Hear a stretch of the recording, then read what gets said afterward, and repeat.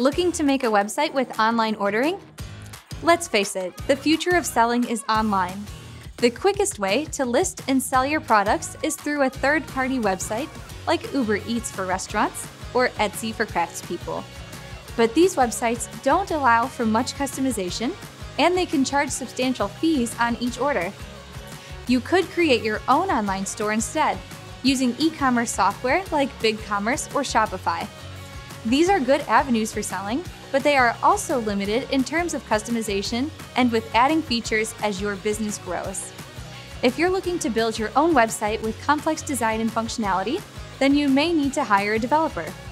But if you want to set up a simple website with online ordering on your own, then keep on watching. I'm Sissy here with Jotform. Let's jump right in.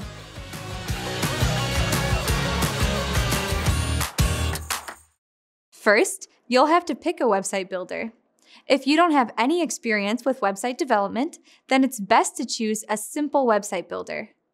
Websites like Weebly and Wix use drag and drop so you can input text, images, and videos onto each page. It's a good idea to look into the level of technical support that each platform offers in case you need extra help. If you're comfortable with editing code or you plan on working with an expert, then a more robust platform like WordPress will give you access to the source code for full customization. To sell products online, choose a platform that will allow you to add that e commerce feature. Some website builders require you to use their built in features or to connect with a limited selection of online store apps. It's a good idea to look out for this before taking the time to set up your website. Next, set up your hosting and a domain name. Web hosting is a service that stores your website and makes it live on the internet for others to see. Good hosting will help your website load quickly and give visitors a smooth experience. Some website builders include hosting for free, and some you may have to pay a small monthly fee. These services will also let you buy a unique website address or domain name. Next, create a professional looking design for your website. Never underestimate the impact of a well designed online ordering site. If your website looks unprofessional, then people will be less likely to put in their credit card information and make a purchase. Many website builders have a range of design themes that you can use as a starting point. Then you can customize them with text, images, videos, and color schemes. And don't forget that 56% of Google searches take place on a mobile device. So pick a theme that's mobile responsive and check that your site is readable on a smaller mobile screen. Once you have your website ready, it's time to add your ordering system. You have two main options here plugins and apps, or online forms. Plugins or apps are pieces of software that connect with website builders to provide extra features.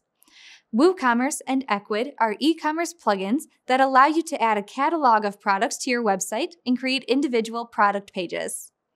To add a plugin, you just have to choose from your website builder's directory, follow the instructions for installing it, and start adding product details. Alternatively, you could embed an order form on your website. Customers are able to pick the options that they want, set up a delivery date and time, then add any special requests all in one page. With an online form builder like JotForm, you can paste the embed code into your website where you want your form to appear. JotForm has free online ordering templates that you can fully customize to suit your business, including forms for restaurants, catering companies, and florists. Now it's time to connect a payment platform. Since online payments can be a minefield of sensitive information and legal restrictions, it's a good idea to outsource payments to the experts and integrate with a bigger payment processor. They will also have better security than a small business owner, so it's worth any extra percentage that they charge for their services. Most plugins and online form builders are able to connect with a wide range of online payment processors. For instance, JotForm connects with dozens of payment gateways like PayPal, Stripe, and Square. Before taking any payments, you'll need to create an account with the payment gateway that you chose and connect it with your plugin or form builder using the payment setting options. The final step is to create your call to action, especially if you're promoting your website and using ads to drive traffic. You'll need a good call to action to drive your potential customers to make a purchase. A call to action is the text that invites a potential customer to take an action. It could be order for pickup or subscribe now. Your call to action should be included prominently on your website so it catches your visitors' attention. Be sure to link it in your order form or product catalog. This will help people find what they are looking for with the fewest amount of clicks as possible, which will also make it easier for customers to make a purchase. So, once you've set up online ordering, what comes next? Many people think that after they set up online ordering, they will start getting orders right away. This usually isn't the case. It's important that you promote your products and your brand.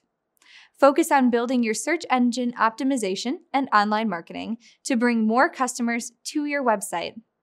Okay, let's review the steps to create a website with online ordering.